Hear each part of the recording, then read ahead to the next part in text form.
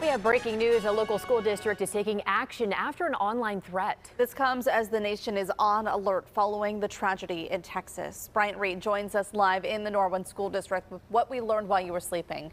Good morning, Bryant. And good morning to you too, Heather and Lindsay. That's exactly right. Just last night, the school district received a threat of violence. And as you mentioned, with so many on edge from the Uvalde shooting, the school district is now sending um, a warning to parents. Now, the Norman, the Norwin School District says the threat came from social media and was reported to them through the Pennsylvania Safe to Say reporting system. They say they're taking all necessary precautions, including making sure that none of the students or employees involved in the threat are on school transportation this morning.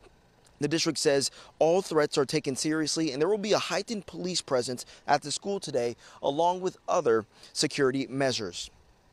Now, Norwin School District leaders say they're working closely with local law enforcement to investigate and mitigate the threat as much as possible. And they say that their main goal is the safety and well-being of their student, faculty, and staff.